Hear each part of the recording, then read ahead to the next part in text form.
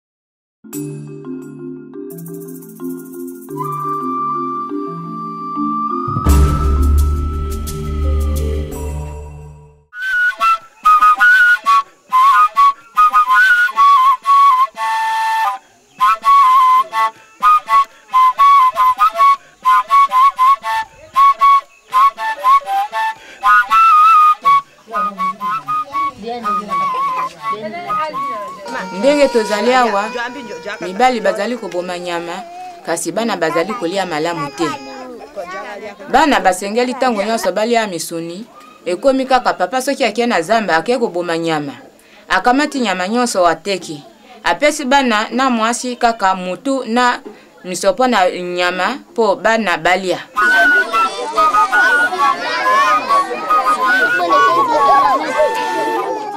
nyama ntango tobomaka yango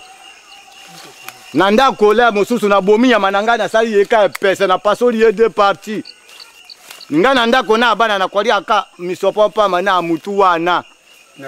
na libumu mpamba esili nyonso nateki bongo ah, nakozwa savo wapi nakozwa mungwa wapi mwana akofuta minerval wapi akozwa bike wapi le problème c'est que les parents sont, sont très très pauvres ils sont euh, confrontés à des difficultés notamment de scolarisation et des frais de santé Maintenant, pour prévenir les, les dégâts contre les, les maladies, il préfère garder l'argent s'il a une occasion de s'attraper un peu d'argent. Donc, quand il attrape sa bête et qu'il y a un preneur, il préfère donner la bête au preneur. Lui, il garde l'argent. Il y a aussi un problème de mentalité, c'est-à-dire les, les gens n'ayant pas beaucoup, ils ont une conception de l'habillement tel qu'il préfère acheter des habits à sa femme ou à, ses enfants que, que toute autre chose. Alors, ils se disent qu'il y a le pont il y a, il y a la forêt qui fournit tout ce qui est utile pour le repas. Et on laisse à la femme la responsabilité de s'occuper des enfants. Alors, cela fait que lorsque on abat un gibier, on donne juste les entrailles et la tête,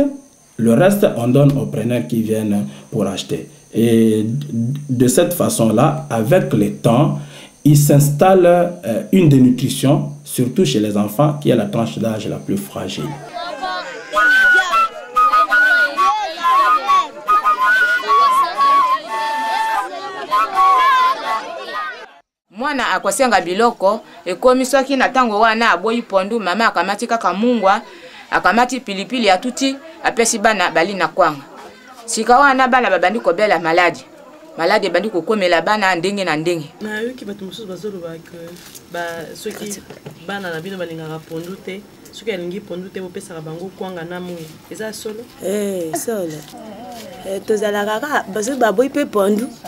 tokoloba pavox soki olei te nakobeta yo soki mpe aza motu makasi akozwa ka pondu akozwa ka mungwa na ye na pilipi atuti alei mpe na kwanga mpe ameli mai mpe alali lolenge wana eske basante na bango kozala malamu nzambe mpe akosunga biso kabo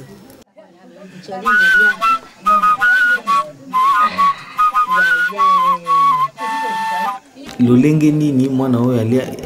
aliaka kwanga na mungwa akokoma c'est-à-dire mwana wana akobanda kobela mingi mingi mpe avec beaucoup de chance ke akozwa maladi ekoki koboma mpe ye mwana wana na ntango akozala mokolo mayele na moto ekozala te mpo aza kolia bilei oyo eza kotonga nzoto te kotonga nzoto elakisi nini elakisi ke otongi nzoto na ntango maladi ekoya ekuti nzoto na yo elenda hmm? esengeli mpe to toya kobakisa euh, eloko mosusu oyo eza kopesa proteine ekoki kozala mbinzo ekoki kozala nyama ekoki kozala mbisi ekoki mpe kozala makonki hmm, soki soki emonani bon si mama oyo apesi kaka euh, kwanga na mungwa seke abuki mibeko hein? ezangi mpe eloko mosusu euh, wana ezali ndunda ezangi ndunda to mbuma Euh, c'est que aza kopesa mwana na ye bilei oyo euh, eza kobuka mibeko na ndenge ya kobuka mibeko c'est que aza koluka mwana na ye akola te akobela maladi oyo euh, eyebani mingi na nkombo ya mbwaki to kwashorkor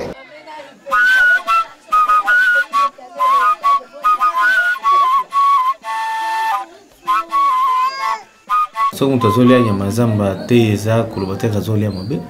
bisika mosusu kutu nyama ya zamba ezalaka lisusu te bibwele ezali obokoli soso obokoli ntaba obokoli meme libata nyama oyo nyonso okoki kobokola ye eza lolenge moko na nyama ya zamba sikoyo soki eh, nyama ya zamba ezangi bakoki kolya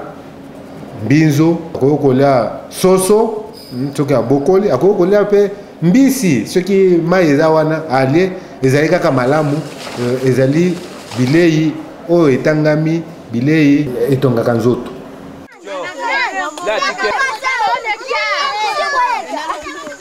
bana baye koluka mbinzo ntina ya mbinzo wana Soki bazwi yango bamemi na ndako mpo ete bana bapesa na baparent balia yango. Mosusu bakokaukisa yango mpo bateka yango. Soki bateki, bakozwa mbongo, mbongo wana bakosomba bakaye na ba bilamba ya mike mike. Alors yango mpe epesaka proteine na kati ya nzoto. Vitamine ezali mingi na mbinzo wana. Tosengelaki koyeba kobokola bibwele, donki tosala ba elevage. Lokola tolingi misuni, gout ya musuni ezangaka na biso te. Nyama ekomi rare. Eza na difference ya musuni ya zamba na musuni ya mboka te. Tozwa par exemple taba aza lokola nkulupa na zamba baza mibale gu moko meme par exemple soso par exemple aza na gu moko lokola euh, nkanga na zamba donc boza komona biloko mosusu oyo biso moko toza kozangisa yango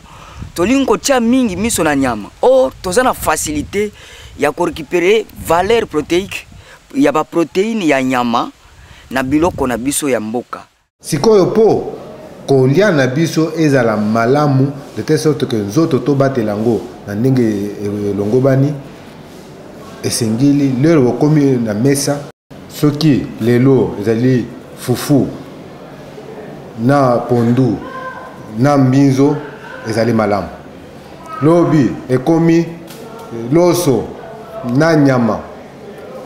na matembele eza malamu soki matembele eza te bon to, na, malala ezali olie tolobi ke osali malamu bambuma eza ebele na bamboka mboka na biso ezangi mbuma te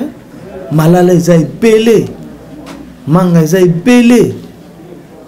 mbuma ndenge na ndenge etondi na bazamba na biso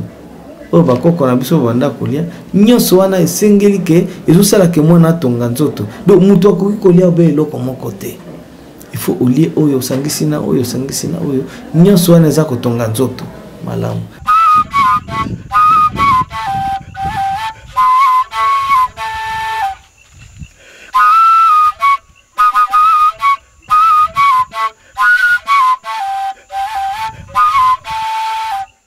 laisa bana malamu soki olaisi bana malamu te okoloba ndoki eh, bapoisonne mwana na ngai or yo moko ozali coupable auteur ya problème